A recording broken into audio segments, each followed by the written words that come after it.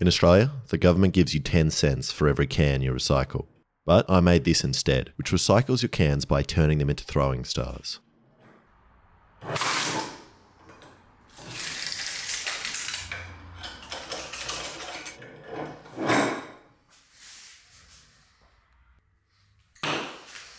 It's made out of scrap metal and uses these blades which pass over these metal stamp to cut out a perfect metal star. And the stars are double sided, so they're actually quite strong when you throw them. So now, when that homeless guy comes round to collect the cans from my bin, I've got something to defend myself. Wait, those are my cans. They're my can.